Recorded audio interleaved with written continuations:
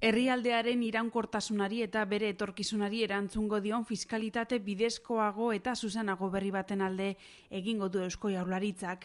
Hauze asaldu du lehendakariak. Fiskalitate zuzenagoa eta bidezkoagoa lortzea da helburua, enplegua sustatuz eta gizarte politikak garatuz.